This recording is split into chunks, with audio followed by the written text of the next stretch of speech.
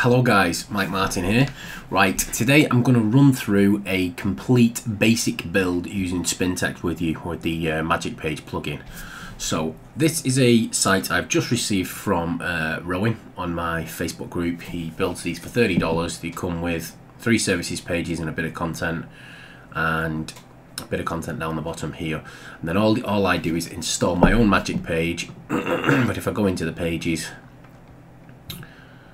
it comes with four pages and a page of 500 words worth of content for my magic page. Now I've pre-spun this to, for the video but I just thought I'd show you anyway. Right so you've installed magic page and you've installed the databases you want to use. Your next step is to go here and go to add new. So you add new, in fact just one second you click on that one there and ignore that. You can actually so you click the magic page tab it'll take you to this page here. Then you just add new like you would with any normal page or post. So you sat here click the magic page tab come to here add new. Okay so it opens up like any other page. Okay so the way I always start is content section. I get the content that I receive written for me. I throw it through spin rewriter with a few settings um, and it comes out looking like this. So here's my spun content. So I'll throw in spun content straight into the page. and it'll pop up looking something like this. Right, my next step would be to include a view location tags in there in the areas where so domestic location roofing go over to visual. Number three. And maybe put a location tag on the end of that one. And maybe at the beginning of that one it's done for me there. Okay, so you get three main areas. Next step is to set your radius location.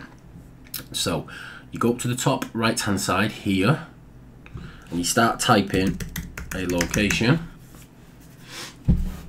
and it will populate with those locations. Select the one that you want and it'll automatically pull in the radius here based on your settings. So in your settings, if you set your standard radius, and I'd leave the standard radius to a thousand miles on, on all sites, then literally just, if you don't want it to be a thousand miles, change it to 50 in here or something like that. But I'm gonna keep it to a thousand miles. And then I'm going to simply click publish. Now I always publish early because what I'll get is a little number here, 61, rather than it saying Spintax title or whatever crap that you put in here. It'll just pull in as number 61. Right, so this is my spun content. I've added it to my site. My next step is to come down to the bottom and consider, okay, meta information. So what I do is I come to the next bottom step and I use the Spintax shortcode. So I add a new Spintax shortcode.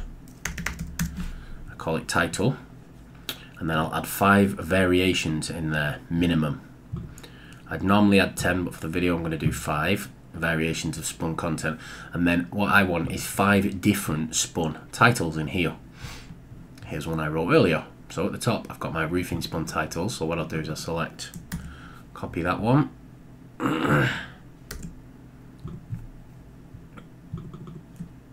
Copy that one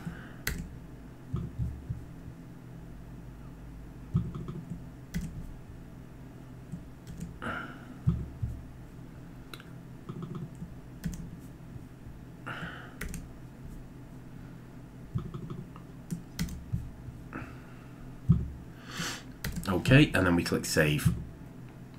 We've now saved this button circle and let's just update the page to make sure it, it sticks. Then what I would tend to do is come down the page and grab my new title tag, which has got all the spun stuff in. I'll go to here, social, pop my title tag in there, stick my meta title in there, shoot up the page and put meta title tag at the top of this here and then I would probably drop down here because we've already set the three H3s that'll be a H1 at the top. So we'll just pop this in as a H2 and update the page. So that quickly after throwing in your spun content slapping in a few title tags you've got quite a decent section of the page built already as you'll see so we've got the this is your spun title tag here, your spun title tag here, it'll also be pulled in up there, spun title tag. And here's all your spun content that, that we've had thingied. Remember you put the map and the cities tab at the bottom which was inside my content, so if I just show you, it pulls this section in at the bottom. there, map and cities. You need the cities on every page. I've stated this on loads of videos. That has to be there. That generates your endless sitemap. So literally that keeps pulling in the 10 closest locations for you. Right, next step, I'll think about the description. So I'll go down to my new Spintax shortcode again. Call this one description. and add maybe two or three of these. Go over to one I wrote earlier. Excuse me paste that in. And all this is is a normal description chucked through a spinner and then obviously we can use two three four different spins with with magic page plugin.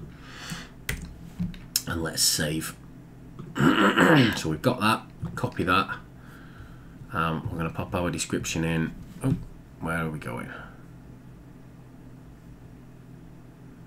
SEO's closed for some reason put one in there and one in there. Then you can leave keywords out, you don't necessarily need them. You want a price range for your schema, so you need to put that in. I'll put a phone number in, I'll put an email in. You want all these including for your schema, so do put them in. Okie dokie, that's our description bit done. So we can update again. Okay, so as you can see, it's been a real quick video so far. And the page is almost ready. The only thing we're missing is a little SEO image down here, which you browse an image, pull your logo in or whatever you want, pop your image in there. That will help for scheming. It'll stop there being any uh, thingies. That is the page pretty much done, but obviously we want it to look a little bit prettier. So what you do is you're going to add some media. Add new media. Let's find a square picture. Let's float that to the right insert and then I really don't take too much pay much too much attention to what actually goes into these. So you want your alt text in there. Let's throw the Spintax description in there. And we'll come down to the bottom and let's grab the Spintax title. And when you put in your media if I put that in there that's going to break the whole page. You want to make sure you're not inside the curly brackets when adding your media. So I'm going to add a second image. Let's put it in here. Add media. Let's grab that one make it left. Excuse me. And again just make sure you add your alt text in but this time I'm just going to add the Spintax title in there. This is a basic build but as you're going to see in a second this is not a bad looking build when it's finished. So that's it. That's the page done with all the Spintax there's thousands of different variations. We go and view the magic page. Excuse me. And as you can see looks alright pulls in the 10 closest locations so on and so forth. Next step is to look at where we want to target. So well, I've said to many people, obviously, choose your 10 um, or choose five major cities to target for the home page because what will happen is they'll be listed say here which I'm going to show you in a minute and then the 10 closest locations to them will be listed here and then as you click onto one of them the next 10 closest locations to that will be listed and listed and listed. So what happens is it works like a giant pyramid shape of links from each of the sections that you're adding on there. And I'll show you how to do that now. So the way we're going to add these is we're going to go back to your dashboard. You can wave over magic page and click on locations. okay, so a major city we want. I'm going to go for Manchester, yep. So we're going to search locations for Manchester. Okie dokie. Now, if this is outside of the radius that's set on the page, when you go to view this, you're going to get a 404 error. But if it's inside the radius, which it is inside mine, because I know that when I click view, I'm going to see the page for that particular one. And up here, we've got the URL. So if I select that, I'm going to say, okay, I want the Manchester page in my menu. So now I'm going to go to my menu. Here's your menu, and you want to click on custom link. So I'm going to add the Manchester one, and as you can see, it's got Manchester in the URL there. So when we viewed the full URL before, you could see it was roofer forward slash Manchester forward slash. And then I'm just going to type the word Manchester in there. now, I want five of these, so what I'm going to do is rather than messing around going and doing them all, I'll have Glasgow, I know what cities I want, so I'm just going to do it like this and show you how to check that they're correct at the end. I'm going to want Douglas from the Isle of Man. Now, the reason I'm adding Douglas is I know that there is a huge water gap between any locations on, on land, mainland, uh, going over to the Isle of Man. So, what I'll do is I'll add one in, in the top here because it's never going to be, and again, Belfast. Belfast is obviously across the water, so it's never going to be one of the 10 closest locations to the page. So there's no way Google can actually find it unless you have it um, in a link somewhere that so so Google can find it, or unless you submit that page and then it'll run through and find them all. But literally, it needs to be able to be found by Google. So because there's a big water gap and the city's location will never be close, that wouldn't pull in. So what have we got there? Do, do, do. Okay, let's put one more in there. Got Manchester, Glasgow, Douglas, Belfast. Let's stick Liverpool in.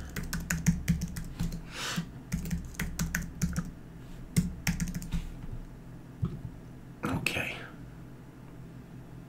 Okay, so I've got five locations. I'm going to put them as sub-menus. I'm going to put them alphabetical order. I'm just going to turn the volume off that phone. And then we're just going to pull these in. And they'll go now. Save menu. So you've just created your menu with your five major cities.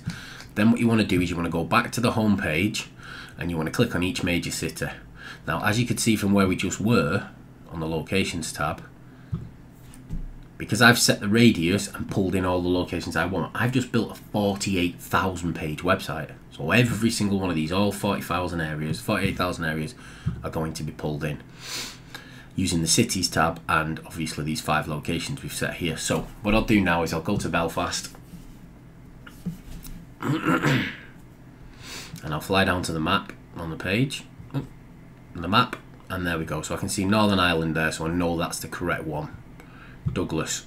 Now I know why the Douglas and the Isle of Man is on a um, it's on like a coast. So shoot down to the map it's loading slow for some reason. There we go. So that's not the right area. Let me have a look. Let me see where we are. Okay so that's somewhere in Scotland.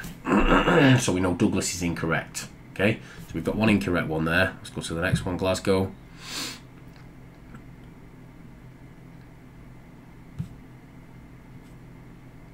Glasgow's correct. Liverpool. My internet's running a little bit slow at the minute. That's why the maps are loading up slowly. I know it's the right one because I could see talk stuff and that there, but there's Liverpool. It's the one that I want. And then obviously the last one I'll just check. So which literally run through all five and make sure they're the correct locations. And then we know that Douglas was, was not the Douglas in the Isle of Man. Um, I know that that's Manchester because I live there. So Douglas was the incorrect one. So then what I'll do is I'll go back up here to my dashboard and I'll go back to locations and I'll type in the word Douglas and search locations. Okay, so that's the Douglas I've just used because I, put, I typed in the word Douglas into the URL. This is actually the slug for the end of the URL. So the only other Douglas it can be, because there's Castle Douglas, Craig Douglas, that's not the ones I'm, I'm looking for somewhere called Douglas.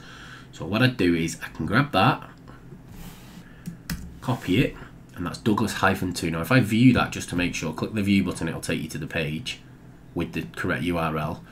As you can see in the URL, it says Douglas hyphen two up there, and that's why it's important that your permalinks are set to uh, post name. So roofer, roofers and roofer Douglas. Come down, there we go. As you can see, that's the right one. I know that Douglas Isle of Man is on the coast, so I know I've got the correct one. So then what I'll do is go back up to my menu, go down to the Douglas one here, and where it says Douglas in that part of the menu, you just replace that with Douglas hyphen 2 and then click save menu. And then you've got your Douglas uh, sorry you've got your menu with five areas. And go back over here and click on Douglas. And what you will see is it's now the correct major city that you're looking for boom we've now got the correct major city and it really is that simple. So basically everything I've just took you through is adding your content adding your Spintax adding everything else. And you th- at that point you have now just built a 48,000 page website. Obviously, if, if you're only installing California or if you're only installing a smaller location, it'll be a seven or 8,000 page website, but there's no additional work involved in building a 50,000 page or a, or a 100 page website with Magic Page. All of these generate the links throughout here. Now, if you want to find out all of your URLs, you can do that pretty easily with Screaming Frog or beamusup.com. Um, but to be honest, we recommend submitting these five cities to be indexed and, and giving it a bit of time, or alternatively using the one I use, which is Ghost Indexer. And as you can see, there's a load of campaigns running there from, from very very recent. Um, so that's what we recommend. Um, I hope this video helped you guys. Anyone else wants to reach out or ask any questions, let me know. Thanks. Bye bye.